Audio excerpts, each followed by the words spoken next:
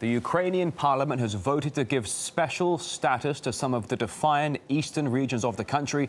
Let's get more now live with RT's Roman Kosarev joining us here on the program. Roman, good to see you. Uh, what does all of this mean in practice? Right. Uh, the special status was uh, awarded to the Donetsk and Lugansk regions here in the east of Ukraine by the Ukrainian parliament. Uh, this was offered by President Petro Poroshenko uh, a, a, little uh, earlier. However, this uh, self-administration will last for three years. Still unclear what will happen after that. Now, along with this bill, an amnesty law was also implemented for the for all the people that participated in the crisis here in the east of uh, Ukraine. And also, according uh, to the documents, uh, early elections will be held here in the east of Ukraine on the 7th of December. Local uh, elections right here. Now, leaders of the uh, more radical pro-Western uh, parties have already expressed their outrage at this bill and said that they did not vote for it at all. now, the special status and along with the ceasefire um, were talked about, were implemented in the Minsk uh, protocol uh, by the parties uh, more than a week ago.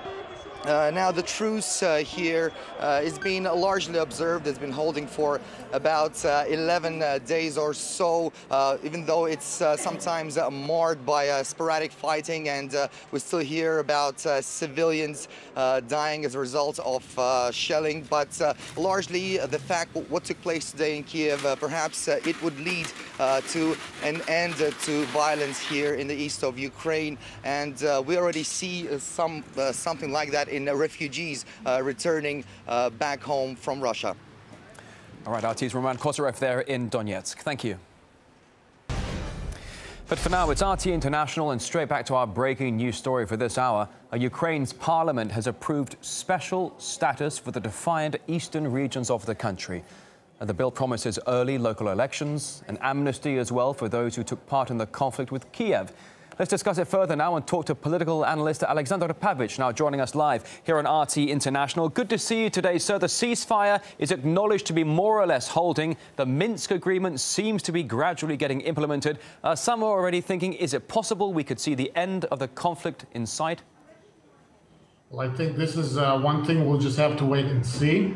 This is a good first step, but we must remember some things. This is the same parliament that earlier in the year practically um, banned the Russian language from being a, uh, an official language in Ukraine. This is the same parliament who's now reinstating it.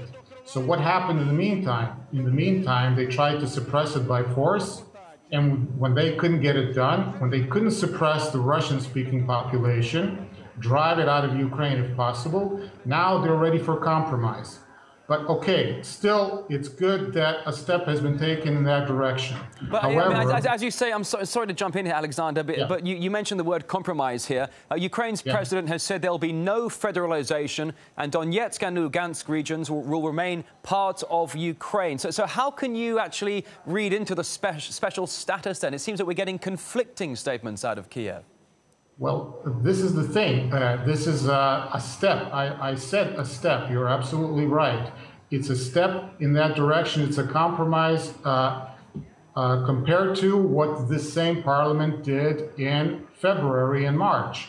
And it's a direct result of the resistance that was formed, organized in reaction to what they were doing, what Kiev was doing earlier in the year.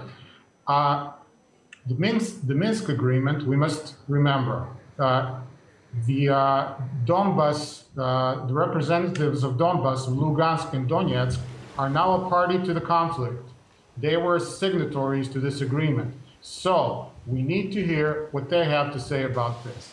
And it's not just on Kiev anymore. And I think official Russia said the other day, this is something that has to be worked out between Kiev and Donbas. So we need to hear from the other side. Also, you're absolutely right. Uh, there are conflicting signals coming from Kiev. Uh, Mr. Poroshenko said the other day, well, uh, special status is something that will last for only three years. Now, that's a mixed signal, to say the least. It's also a bit disingenuous. I think if anyone in Donetsk and Lugansk hear, hears this is something for only three years, I don't think, you know, I'll, I think they'll say, well, this is not a serious offer. So it may be that this is only an offer for the public, for the public in Ukraine, which is unhappy with the war, for the Western public, to give uh, Kiev some sort of a connotation of being peacemakers, but we'll see what their deeds are. So far, it's not very encouraging, even though the, the ceasefire, as I say, is holding. But I think it's only because Kiev hasn't recovered from the uh, vast military losses that they've suffered in the last month. Yeah, that's what many people have been saying. A lot of analysts saying that Kiev only moved towards the truce in eastern Ukraine because it was losing very, very badly. Uh, parliament members have ruled out any possible alliance or association with self-proclaimed eastern leaders. Do you, do you think that means the regions could remain ostracized despite any official special status? Well, absolutely. Uh, uh, how can you not talk to the people who now clearly represent the population of uh, uh, Donbas, so both Donetsk and Lugansk? If you do that, then in advance you're practically uh, uh, eliminating any chance for real peace and real talks. So once again, when you look at this a little bit more closely, it looks more like posturing by Kiev than anything else. However, diplomacy, public diplomacy is also a game.